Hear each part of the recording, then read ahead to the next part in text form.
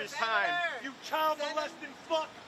Senator Bill, what's the price of gold, Menendez, you loser? I hope you go to jail for life right next to Weinstein.